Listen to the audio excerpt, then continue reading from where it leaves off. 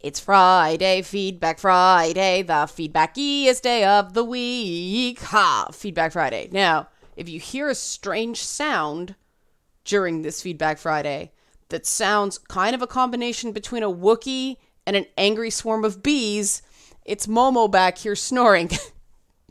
it's a very strange sound. He stopped right now. You see Midna on the top bunk and Momo on the lower bunk, and Momo tends to snore quite loudly.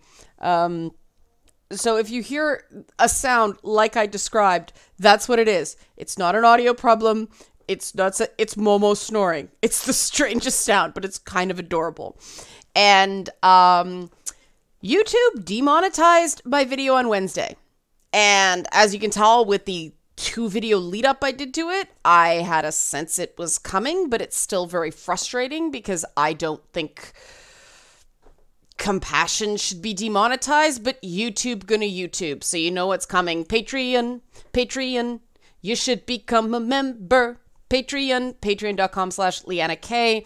Um, your Patreon support, uh, your your Twitch stuff, all that stuff, um, allows me to do this stuff on YouTube that doesn't make any money because they demonetize it or because the traffic's not so good because I'm not gaming the algorithm. But sometimes I just feel like it's very, very necessary. I really do believe that it's not. I shouldn't say it's not just about making money because it is a business, but I think that forming a longer term um, relationship and a, a longer term um, uh, dialogue with with an audience, with a group of supporters is very important. One, because then then people feel like it's not just transactional, that somebody out there gives a damn. Um, but the other is uh, the fact that when you know I do misword something or when something comes out the wrong way, I've earned benefit of doubt, and I I you know I totally think it's fair to build that sort of relationship so that if something comes out the wrong way, you guys know or or if something can be interpreted multiple ways, you guys, guys being a gender neutral term, know that that's not how I meant it. I think that's really important. Um and I kind of don't know where to go with Feedback Friday this week because the conversation like went out in like 10 different directions all really equally valid and i can't do all 10 and i don't know how to pick. So i'm just going to start talking and see where it goes and i'll cut myself off after a certain period of time. Um the i, I think from a healing perspective i think this week's videos were worth doing simply because people who needed to feel heard felt heard, people who needed to be seen felt seen, people who needed to be understood at least felt partially understood. And uh, that came up that came up against this idea of validation and healing and how does someone get validation and healing when there's no systems to allow them that and I, I, talked about this briefly, I think, a, a few times, but the idea of um, retributive justice, meaning seeking retribution for justice. I was harmed, therefore you must be punished. And restorative justice, something that makes the the person who was wronged feel whole again. I'm a much bigger believer in that latter one. Um, and it's it's actually in in some ways easier to do and in some ways a lot harder to do. It's not always possible. I I do think long term it's better than this series of punishments. Um, what's odd is that even after I made these videos, people who hadn't seen them started telling me other stories about how they just felt like completely taken advantage of. They felt completely helpless. Um, so I'm going to speak a bit more on that just based on my own circumstances. Um, in our incredibly interconnected world, walking away from a toxic group of people doesn't seem doable a lot of the time. I know that, but it is.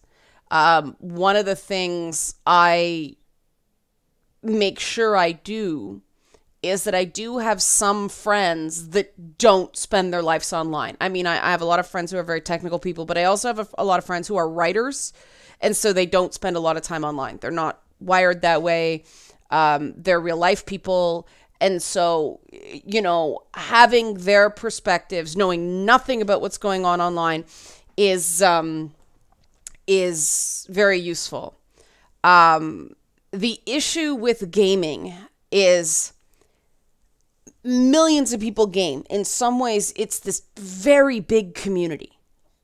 But there are only so many common gathering points, right? We're either in these tiny little groups or on our own, or in these huge things like um, PAX or um, E3 or, you know, E3 less and less because it's not a gathering place anymore. People watch it online.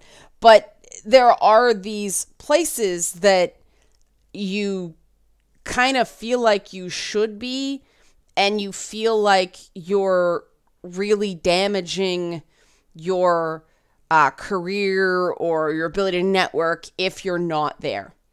Um, what I've found dipping my toe back into those environments is they are good places to make contacts. Maybe if you get lucky. They're not essential. There's there's other ways. I mean there's there's no substitute for face-to-face contact. I do think we need more um, professional gatherings that aren't GDC just because San Francisco is prohibitively expensive now for Canadians to go. Like like San Francisco is a very expensive city to begin with and with the exchange rate, like $700 a night for a hotel room is just not happening. Um, and you know, so there's and and you can't, you know, people like, "Oh, do Air, Airbnb, do all this stuff." I tried the Airbnb thing. You get no sleep because there's too many people in a shared sound environment. Um, you keep getting woken up because people are coming and going, and then you know you end up getting sick. You're I'm still exhausted. I have not felt rested. Now, granted, there's been a lot of other things going on, but I have not felt rested since PAX. Um, and no one in any other field, I was not this tired when I did TV conferences with all this toxic energy that was going around them because at TV conferences, people recognize you have to eat, you have to sleep for an extent. Like, this is a job. This isn't party time. This isn't spring break with no sun. You know, it's not nerd prom. This is a job. And the parties are fun, but there's a way to do it responsibly and not get sick. You need a place to go back to that is your space. And I, I think that idea of, of your space, that that being okay to ask for, is it's becoming an increasingly difficult thing. I see it in people who are younger than me. And you know, I've been I've been talking to people lately who just feel excommunicated. And eh, you know, I admit I had a lot of anxiety going into PAX because of how I was defamed during the whole Gamergate controversy. Uh and and with things like popping up the way the way they did like certain people popping back up on the radar first day of PAX I was like oh god um and I I do still feel like to some extent I am an easy target for people to attack I am acceptable to shun I am only partially a human being I still don't really believe I get a fair shot based on my ideas in this industry uh, with the online stuff. And I see it because I get a much better reception in academic institutions than I do from from the games press. Now, long term I don't have a big problem with that because I really do believe that the current paradigm in gaming needs a lot of fixing. And so I believe I'm going to be in a better space when, as always happens, this current guard kind of be either either gets wiped away or or becomes increasingly irrelevant, or um, you know, there's just a big sea change or someone takes a takes a, a, a give me gives me a chance, properly markets and really shows that a an inclusive um, supportive environment for everyone is possible. Now, when we do that big tent, we do have issues. Like, unfortunately, the current paradigm forces us to get into camps, uh, mostly around words. Like, we get stuck in these semantics things. And again, please, I, I, this sounds really arrogant, but it's not because it's not me doing this. It's the people in the Twitch chats when I do Twitch streams. We had a whole discussion about um, game mechanics involving succubi, you know, the succubus, the, the monster, that I don't know how it it happened, but we got into Randian philosophy, like Ayn Rand. And the I I forget. Oh, it was based on the Joker movie. That's right. And and uh and if you want to see my thoughts on the Joker movie, it's a patron only video because I don't do reviews like that anymore. They don't get enough traffic. Uh, and it doesn't help anybody really. So I keep them for patrons only. But it was a fascinating conversation. Um, and it, it never really resolved anywhere. It was just a sharing of ideas which is what I always considered conversations to be. You know, before I saw the movie, um, I got together with three friends, two of which came to the movie with me. Um, one, um, one who had seen it already but just came for dinner, and it was a really great discussion and it was people who were from very different walks of life but it was everybody was very smart everybody was very kind and it was a really good discussion. And by the end i said we should do this again. This is like a really good conversation. And i really think that that's what the this cancel culture paradigm is preventing. This idea of great conversation because what happens is you have a debate, not a dialogue, not a conversation, but you have a debate me thing. And no matter what anybody says, the the faction that one person is represented by is going to agree with them and disagree with the other side and vice versa. And then there's just this massive online clash. And so nobody really wants to engage. They may be curious, but they will not discuss the original debate because everybody's fighting. And that is anti intellectual, it is anti community. It is impossible to really get anything done in that way because everybody's fighting.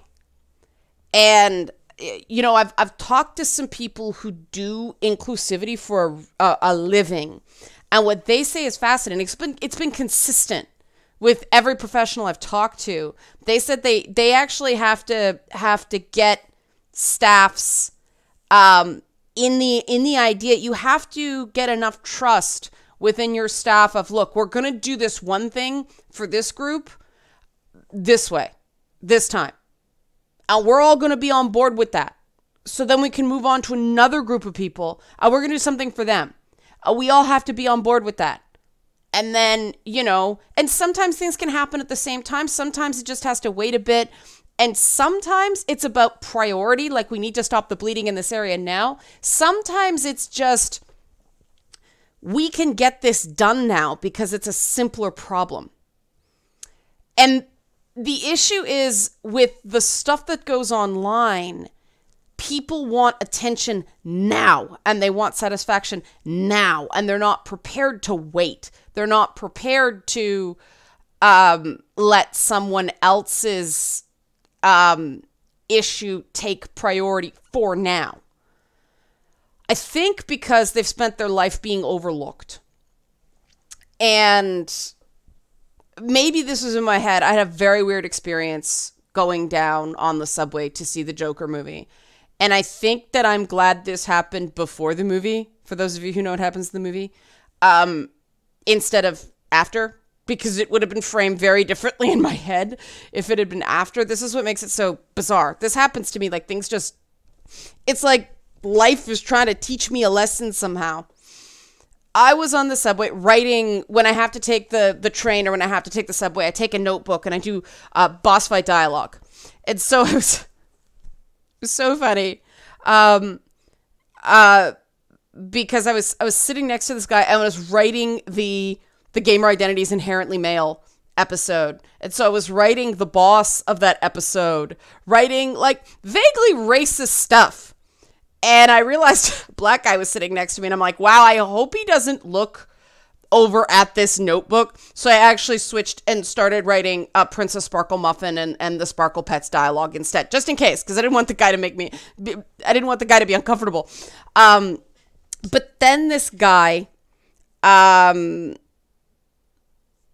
disheveled white guy with dreadlocks, brown coat, fairly tall, um, talking to himself, yelling at himself, you know, of course, because it's the Toronto subway, the guy starts ranting about sluts and whores. And I'm like, oh God. But of course, guys like that, they rant about that stuff, but they don't they don't go after women. They pick fights with other men. Um and I saw him going for this brown kid. Um, could have been Muslim, could have been like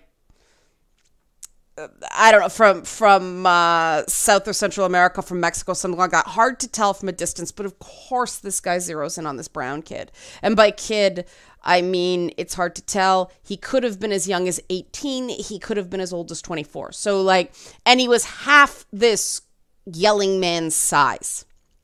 Like he came up to like the guys here, maybe young kid, like really fresh faced.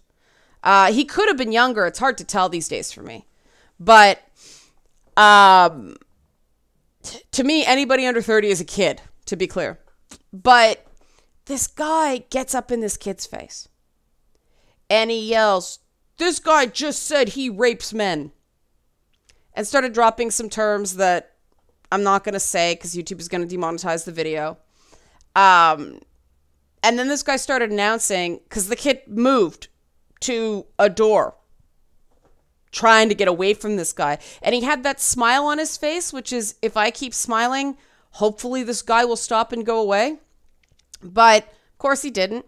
And he announced to the whole train that he was going to get off at the next stop and kick the guy's ass, the kid, for doing nothing because he was the focus of whatever delusion this guy was in the middle of at this point. And I don't excuse this guy's behavior based on delusion because plenty of people are mentally ill and don't do this crap. Um, and so this this is where things got not stereotypical and kind of interesting. Um, this guy, he was about the same height as the guy who was being a menace, bald guy, white guy, yells, "Leave him alone!" And the the the menacing dude pretty much totally ignored him. It's like that egged him on. Like he got louder about he was going to kick his ass and this other guy keeps yelling leave him alone and it was escalating the situation. And I'm like when the guy first started yelling, it was scary.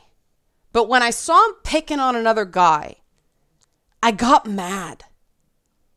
And all I kept thinking is, this is not happening. This is not happening to this guy. This is no way. And I was glaring at the guy. And the next thing I know, this guy goes, You gonna stop me? And I took me a few seconds to realize he was talking to me.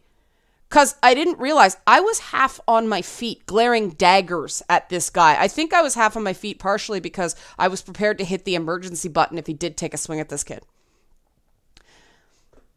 But I just kept glaring at this guy and glaring at this guy and just wouldn't back down. And I watched him wilt. I saw fear in this guy's eyes.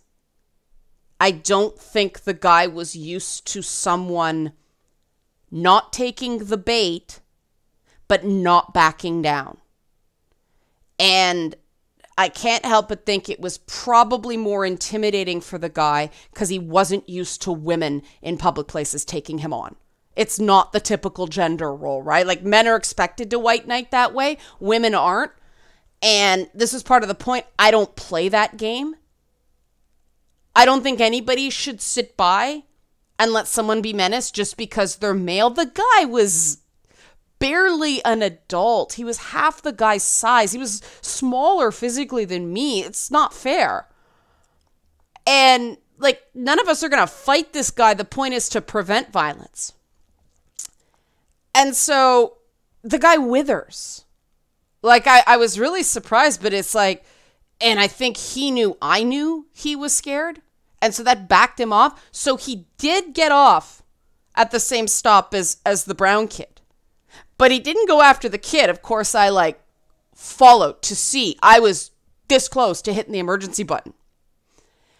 And then I saw this asshole like go he left the he left the car, the subway, went back in the other car. And the thing about our subway cars is you can see right down them. So he could have just like walked away that way. But no, he was he was hiding. He tucked his tail and run. And I just said like he just got back on the car. And everybody of course had been looking at this whole thing turned around and kind of shook their heads and started laughing. And this guy went from being this menacing, stereotypical bad guy, right? To an object of pity to someone who just, wow, isn't that guy pathetic? And then, of course, I had that moment of, you know, wow, that was really stupid. What was I doing? But that was because at that point, I wasn't identifying as as female, right? I was identifying as a person who does not just sit there and let other people eat crap while I sit there and do nothing. It it you know those those gender norms didn't come into it because to me that is equality. We do not have a world that is equal if expectations in situations like that are different for women than they are for men. Everybody is totally capable of standing up to bullies. We may have to do it in different ways, but we are all capable of doing that. And you know what was the guy going to do? Hit me? Right. That the, the truth is that I meant this kind of go the head. If the guy hits me, something's actually going to happen to him. If it hits the other kid, that that kid because he's male might not even press charges. And I was just so angry that someone used an excuse. And you know, mental illness is a real thing, but I know plenty of people. There's no reason in Canada to not get help. It may take a while and it's hard, but there's no excuse to be that far gone. I have friends of mine who have been now in the US is different, right? In the US, you guys don't have the same kind of healthcare and stuff like that. In our country, no excuse. It's hard, but there's no excuse. You shouldn't be a menace to other people. And that to me is what we need more of in various online communities. And I get in a lot of crap for doing this. Like those of you who, who follow my content probably aren't surprised by this because I don't know if it's video games, I don't know if it's the neighborhood I grew up in. I it could be just a combination of factors, but I do not let this stuff just happen. You know, when I was a kid, this happened too. Um, I I stood up for kids who didn't have anybody stand up for them. And I really think that all communities hit a critical mass where, you know, maybe, hey, leave them alone isn't the right tactic at a given time. Maybe staring someone down is. But that's the only way to get toxicity out of a community to keep trying. Because if they, like, if they keep throwing us out, then eventually those of us on the outside are going to outnumber this in group, which means they have no power anymore. And I really do think that's what's happening in gaming and in culture. There's, you know, as I'm recording this, they're doing Elijah Cummings Memorial down in the US and Mark Meadows, who's the head of the Freedom Caucus, staunch Republican caucus, right? He was Elijah Cummings' friend. And Elijah Cummings' like tagline was we're better than this. You know, this guy this Elijah Cummings was a guy who had every reason to treat a guy like Mark Meadows as just a completely different species of being. But clearly he didn't. And that's a real example for both of them, right? Because obviously Mark Meadows wasn't such a, you know, treated Elijah Cummings with respect too. And I really do think we have to get back to that idea of respect because respect is what's left when you don't like someone, when someone's annoying you. And respect is the only way we come back from disagreement. If you dehumanize someone, it's not about the original issue anymore. It's about that. It's about the fact that you went too far and you dehumanized someone, and now you have two problems to solve.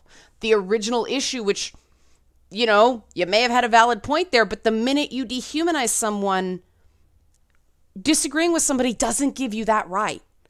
And so things get messier and messier and messier. And it's been very validating.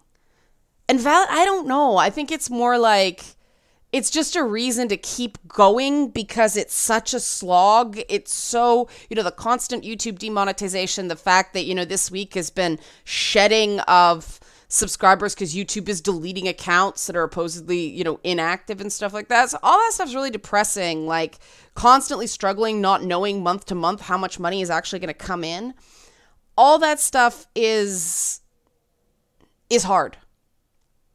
But seeing the progression in certain commenters, especially the ones that I was very close to blocking in, in parts, because some regular they came in so angry. And i've watched the change. I've watched the gradual lowering of the guard and being more open to to dialogue to not communicating that way and that i don't see that as about me I see that as a reward I gave myself, giving that person a chance to trust. And I don't think that makes me right. I don't think that makes me a quote unquote good person. I think that that was a reward to see that change that gives me hope that was a reward for giving another person a chance to show their goodness. So that's about that other person. That's about that other person having a, a, a, goodness of spirit, a goodness of heart that overcame their anger. And that's very hard to do. It's very hard to start from a place of distrust and eventually work up a relationship where there can be communication. And yes, that takes a certain amount of strength on my part. I, I don't block unless there's disrespect, unless like I tell somebody to knock something off, give them all. You guys have seen it. You guys have seen it on on on Twitch. Like one more time, buddy. One more time. All right, goodbye. But it's never on the first. It's never on the first offense. Never. I don't believe in that. And I do think I do think there's a, a lot of good people watching this right now who have not been treated like good people. And there's no identifier attached to this. You know, there was an interesting conversation in comments about one trans person told me to stop using the word cis as a trans person, they can't stand it. And then another trans person came in and said, I don't see anything wrong with having a word uh, for people whose um, biological gender matches their biological sex matches the gender they identify with because it's not they're normal and I'm not. So, you know, that was an example of um, disagreement within the community. There's no right or wrong answer there. It's it's just different people's perspectives and it's important to know both of them. There's an ongoing debate about Latinx. I'm seeing it more and more and more on television shows. It's this American thing that I'm seeing. But my Latin viewers hate it. They think it's a, a diminishment of the language. And so you'll notice I did it earlier. Um, I say South and Central American and Mexican because there are some people in those regions that don't consider themselves Latin. They're they're indigenous. They're this. Um, many people like people in Mexico. They're Mexican. It's it's not. Um, you you can have like an ethnicity and be Mexican. It's not default Latin. Uh, you notice I say Latin instead of Latinx out of respect to the people who watch this channel that don't like it. And like I know other people who don't like the term people of color uh, for many reasons. You know, one pe- one person says I'm not a crayon. Another person says it's too much of a catch-all term and makes it seem like every you know experience is the same when it's not. And but then there's the problem of there are some people that think if I even utter the word black, I'm racist. And, you know, I'm fortunate enough to be in a city that allows me to have a very multicultural group of friends. And multicultural might be a better term than people of color because it's culture as well, right? Um, but I am very blessed by these perspectives, including those of atheists. Sorry, that's that's just a tick, you know, like that's my word for feeling fortunate. Um, but not everybody has those experiences. Now, some people it's because they don't want to. Other people just have not been fortunate enough to be exposed to those other perspectives in a calm way. And I hope if I can do something that I can sort of be a pathway to those experiences without speaking over people. And, you know, that, you know, in this whole culture war identity politics thing, I, I think that's the biggest takeaway. Just don't speak over people. Don't. You know, I can only talk about my experience. And like I said earlier, I'm really sick of labels because my physical identifiers really give people the wrong idea about me. You know, uh, someone on Twitch was like, Where'd you come up with that hip hop symphony metaphor? And this is a guy who's like super schooled in music and he loved it. It's like, okay, good. If he likes it, then. And for me, it was just because of where I grew up and I took ballet. So I had a lot of exposure to classical music. But I love hip hop, man.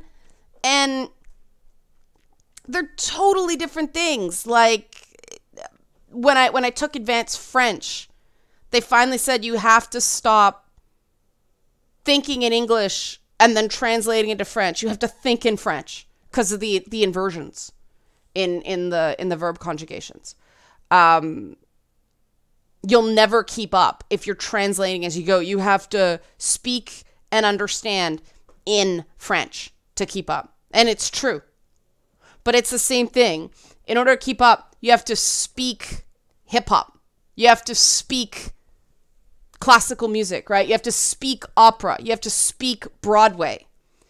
And learning, you know, finding what Carol Channing called the spine of a work is very important. And so when we're talking about games, we have to speak video game. We can't be converting from movies or TV shows or books or anything like that and if anybody wonders what I teach in schools when I lecture, it's pretty much that. It's trying to get people to look at games as games, not as um, not as books or movies you play. So that's my takeaway from this week. Next week I'll go back to the stuff that is is kind of geared towards more traffic. I'm not sure what that's going to be yet. Maybe some looking forward stuff. I don't know. Some stuff I'm looking forward to. Anybody got any ideas? Anybody got any ideas of what to do more of?